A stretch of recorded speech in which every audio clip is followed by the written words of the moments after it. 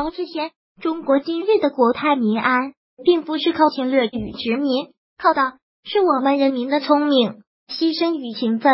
美国也从中国的拼搏和奋起的路上得到了更多的利益。今天七日的台湾《中国时报》刊发了台湾女主持人黄志贤的评论文章，对美国副总统彭斯的回应。以下为全文：副总统先生阁下，您在集中选举前夕对美国友邦中国这样不顾事实的责难与重伤，实在让人遗憾。您对真实完整的历史显然并不知悉，或故意不提。中国从来不亏欠美国沉默，也对美国充满善意。历史上当中，美两国合作总是对人类的和平有益，而美国得利有据。当中国被列强侵略，几乎遭瓜分，美国虽地大物博，但并没有缺席。英国在天津取得租界时，美国也分到了一块租界，懒得用，甚至私下转让给英国。您提到了庚子赔款，当八国联军攻入紫禁城，中国被歼掠之后，还被迫付出天价赔偿金，四亿五千万两纹银，这是中国五年的财政收入。美国虽没有出兵，竟也拿到总赔款的百分之七点三二，那是衰败的中国背上最致命的一刀，也是亿万子民的血泪之金。美国眼光深远，因和中国土地已经扩张完毕，所以美国要的是经贸利益和政治影响力。伊利诺大学校长詹姆斯写信给老罗斯福：假如美国在年前能将中国学生成功的吸引进来。那么，美国这种从文化上控制中国的方式，无疑是最巧妙的，是以知识和精神操纵中国领袖的方式。一九零五年，美国的排华法案让中国民间抵制美国货，三年内退还一部分给中国，好平息中国人民的愤怒。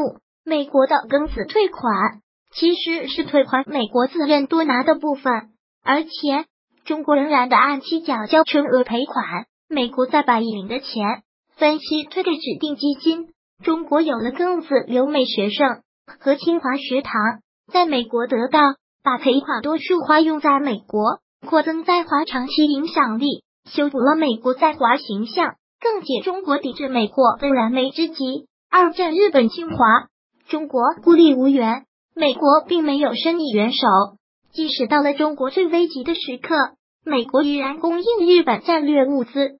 直到日本偷袭珍珠港，美国才对日本宣战。即使如此，中国仍然没有得到美国合理的对待和协助。中国居民数千万伤亡和几乎惨遭灭国的血泪，对其他国家来说并不值得一提。雅尔达、雅尔塔、环环住密约里，美国、英国和俄国出卖了中国，钓鱼台本是中国故土。战后却并没有随着台湾一起归还中国。美国以占领者之姿，将钓鱼台管理权交给日本。七三幺部队的惨绝人寰，因为日本把实验报告献给美国，将换了美国数十年的沉默。中国历经被侵略、内战与种种错误，至今才稍稍站稳脚步。国家仍未统一，我们在各种领域仍有太多不足。但改革开放以来，十四亿人民的富足是人类史上的第一次，我们非常珍惜。而中国今日的国泰民安，并不是靠侵略与殖民，靠的是我们人民的聪明、牺牲与勤奋。美国也从中国的拼搏和奋起的路上得到了更多的利益。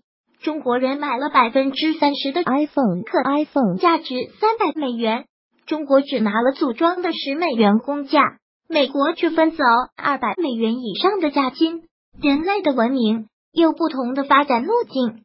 所有被列强侵略的民族和国家，为什么中国可以走上独特的抗争之路？民主之路必须扎实。